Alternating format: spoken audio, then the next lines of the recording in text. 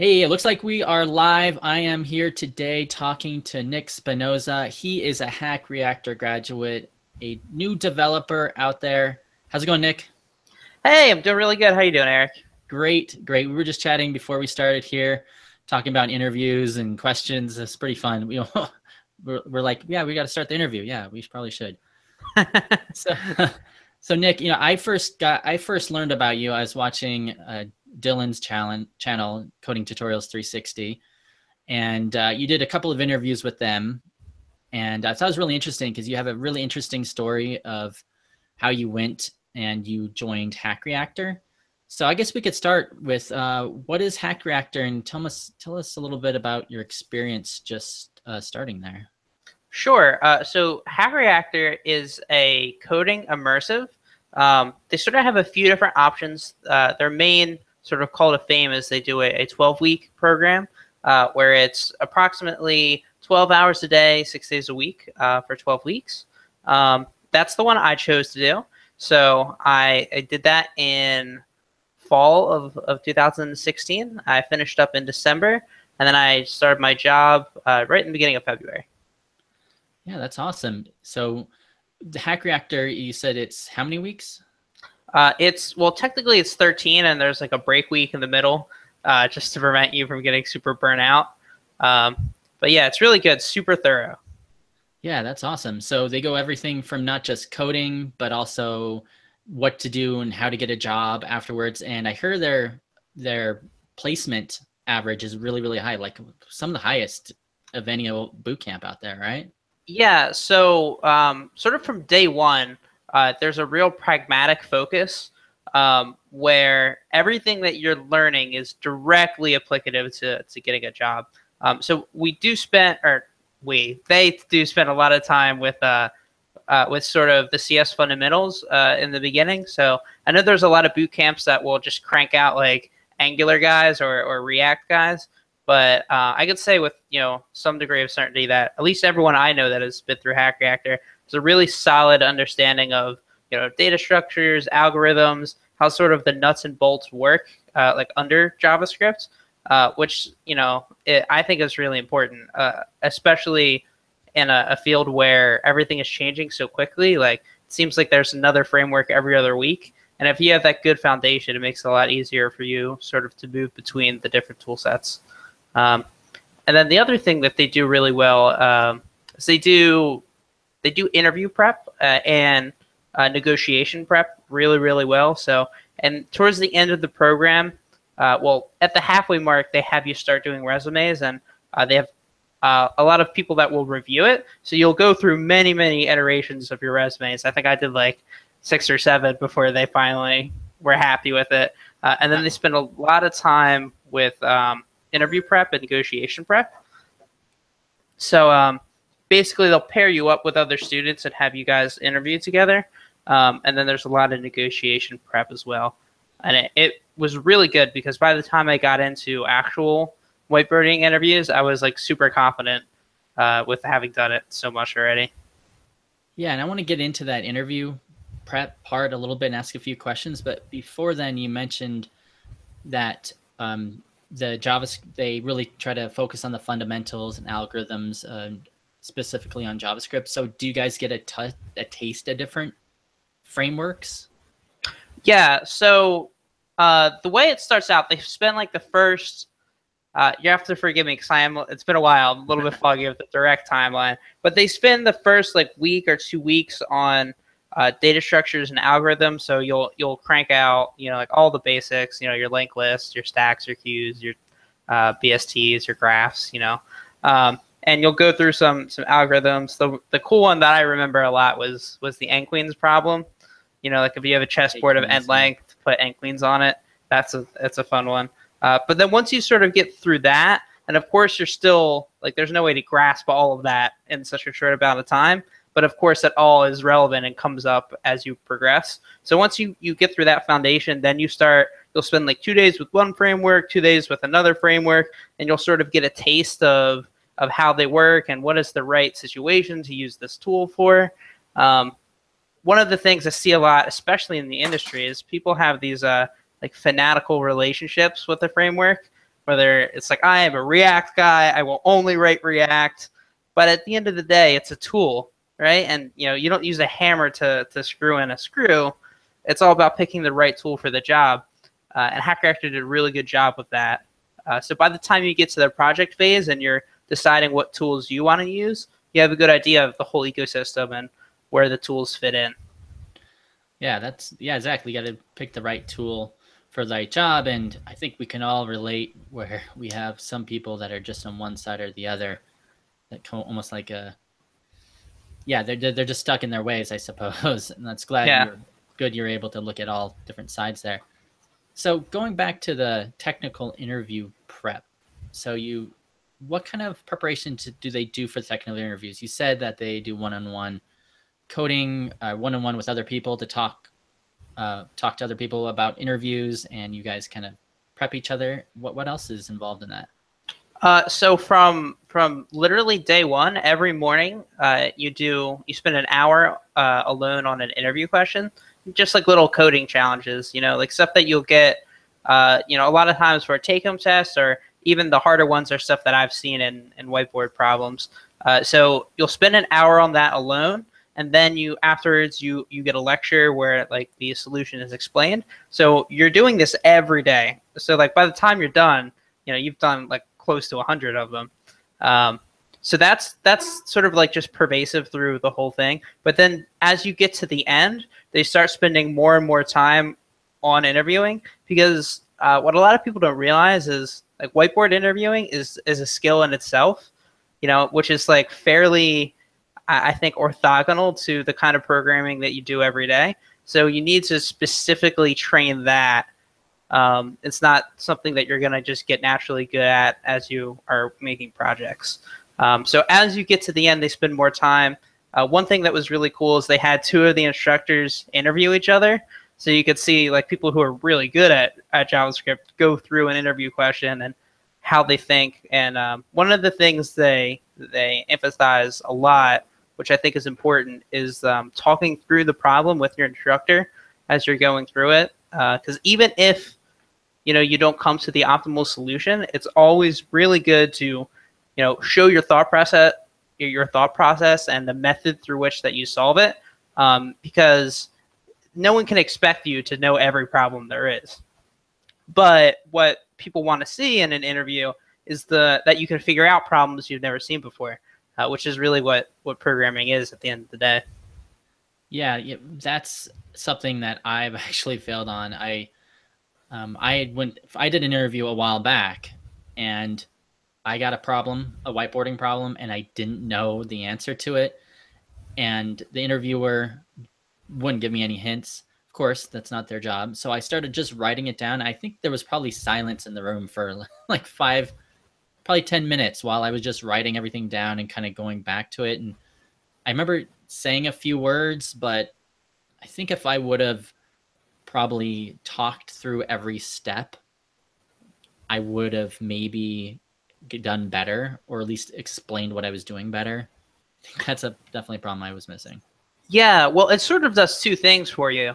Uh, you know, one, it, it shows the interview the way you're thinking about it and how you're going through it. But two, it's almost like rubber duck debugging, right? If you if you say it aloud in a way that has to make sense, eventually be like, oh, this is this is the assumption I was making that's actually wrong. Let me fix it. Uh, and it's I, I would imagine. I mean, I haven't been on the other side of the of the interview yet, but I would imagine that seeing that, you know, that you can have that moment is is important. Yeah, I, I think my interviewer, I did so bad. They're probably like on Reddit or, or just watching YouTube videos while I was writing stuff down. Definitely wasn't my proudest moment, but now I have learned, and that was a while ago. That was quite a while ago. Yeah, I mean that's that's what's important. Um, I was reading. Uh, there's a a YouTuber I like, and I was watching one of his videos. Um, he used to he did he worked for Facebook, and he said uh, his opinion is that an interviewer did not do his job if you felt you did well at the end of an interview, because the point is to take you as far as you possibly can go to see where your your end point is, right? Um, and that's why a lot of them are structured with like, here's a problem, huh? What if we tweak it a little bit, or what if we put this constraint? Uh, can you do that in constant time? You know, so the a lot of the problems are structured in a way that they can get to one answer and then build a little bit and get to the next one. That way, they can like stretch you as far as possible and really see, you know, sort of your bandwidth as a developer. That's that's that's exactly what happened to me too. Yeah, after I, I came up with a solution, which I think worked, was like, well, what about this? If we tweak it like this and we add X, Y, and Z here, and then the problem becomes exponentially harder. So that's that's definitely true. Can if you were to give some tips for beginners to prepare for a technical interview, what what would some of them be? Um, I would say what really helps me, and this is another thing that Hack Reactor uh, advises you to do, is before you write a line of code, you should go through uh, like your solutions um, in a sort of a language agnostic way, uh, just from the logic and you should be able to debug your logic before you write code. You know, so like for instance, if you're doing some sort of like list iteration, you can say like, okay, I want to loop over the list and do X, Y, and Z with each with each value in the list, right? And it doesn't need to be, you know, list that for each, passing a, you know, a lambda. You, you want to be describing it in sort of like pure logic, agnostic of any language. Um, and that really helps me to sort of have a very good idea of what the the solution should do before you sort of transcribe it into you know whatever language you're working in um, and being able to debug the logic i think helps a lot so you don't get bogged down in syntax so uh, try to so first thing to do would be try to write down the problem that the interviewer gives you in a in a agnostic language form just to try to understand the logic and flow of your answer. Yeah, so like almost like pseudocode. Yeah. Okay, right. Yep. That way you can you know you can then just debug that, and by the time you go to write JavaScript or write out your function, you already know how how the how it should work. So then you're just putting it into JavaScript syntax. Um, mm-hmm. So that's one thing that really helps me. Uh, the other thing is, and I think I mentioned it before, that like interviewing is its own skill and personal projects is not going to help you. Or I should say it's going to help you, but not enough. You so you need to specifically train it. Um, so two problems. Uh, I like Codewars. They're not great, but they're they're good. Uh, the better thing to do would be to um, try to find if you can find examples of interview questions your company has given before. Uh, Glassdoor is a good one. If you're working with a recruiter, usually they can tell you what their other candidates have said and give you some feedback. So as much information as you can get when you have a specific place, uh, you know, is really helpful. Yeah, definitely going back and talking. I, that's that's I've done that before in other interviews. Just looked at Glassdoor and taken a look at the interview questions to try to yeah. get an idea if I can kind of figure out what they're what they're doing, um, what I should I expect. I know some recruiters are better than others. Some recruiters will kind of give you like a whole litany of things that you should study, and some others are less are a little more cryptic of what you should study. Yeah, I've been through through both sides of the gambit. Um, for me, like one of the big flags, uh, at least in the JavaScript community or or ecosystem, I guess. Um, you know, a lot of times they'll give you like a take-home test or some sort of phone screen before they'll even work with you. Uh, and I had a, a, few recruiters that gave me like manual DOM manipulation with like just the JavaScript methods. And I was like, I remember thinking to myself, there's no one in the world that is doing this today. Uh, so you can sort of figure out or get a feel for, you know, how technical your recruiter is at that phase. And then you can know how much you can expect to get when you get to the interview uh, process. Now, what about, and you talked a little bit about this with Dylan. Uh, I'll link that in the in the show notes below, but there is there's certain things to say about soft skills in your interview. I I don't think it's as I kind of disagree a little bit with Dylan who thinks who said that that was really important during interviews. Like if you can make your interviewer laugh, that you might have a better uh, chance of getting a job. But I've also seen the opposite where, well, if it doesn't matter how much your interview lasts, if you can't pass the whiteboarding interview, you're not going to get the job. Yeah, I, I, sort of agree with with both of you. I, I think there is 100% a technical bar that you have to meet, you know, and you have to get there. It's just hard and fast, no matter you know who you know or how much they like you. It doesn't matter. but once you get to that bar, I think at that point that your soft skills are probably going to be more influential than your technical skills, unless you're just like crazy out of this world, you know, like the next Ada Lovelace. um, so, but of course, there's a technical bar. If you can't do the job, then they're not going to hire you. But if you can do the job and you know you can convince them that you know, you're one of them, it's going to set you ahead of the pack. I think. Yeah, that's good. That's a good point. Yeah, so I guess it's a little bit of combination both. So there is definitely doesn't matter how how much they like you. There's definitely a bar you have to pass technically. Now, there's two type of technical bars. I mean, we've been talking about kind of about the traditional whiteboarding algorithms stuff that Hack Reactor was really doing a good job in teaching you guys and getting you guys used to thinking about how to pass those. Now, there is other types of interviews out there where you just mentioned take home interviews or take home test interviews. I mean, how many, when you were looking for a job, I mean, was it like 50 50 or is it like 70 30 or? I would say it was, different? I would say it was like 80 20 whiteboard. But that being said, I know the East Coast is notorious for it. Uh, and a lot of the people I worked with at Hack Reactor that are on the West Coast had a very different experience. Um, what I've noticed, you know, and I don't know if it's a correlation versus causation thing, uh, more of the startups I apply to were um, much more likely to send me a take-home test, and all of the big companies, you know, want to take you in and and do a you know like three whiteboarding interviews. Um, personally, I think take-home tests are far more effective. Um, you know, unless you're like doing some really crazy like systems engineering, you know, in C, and you really need efficient algorithms and all that crazy manual memory management and stuff. Most of the time, you're not going to be writing, you know, a heap or a sorting algorithm.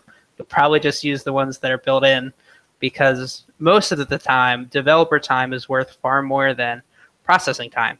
Uh, you know, we're fortunate to be in a uh, profession where we get paid very well, and if you can implement something quicker that's more maintainable uh, and more testable, that's oftentimes far superior than writing the most you know optimized solution at least in my experience um, did the take home test just get you in the door but then when you went to the site were you then grilled on like basic javascript questions or css questions when you actually got into the interview? Or of course it depends on the employer.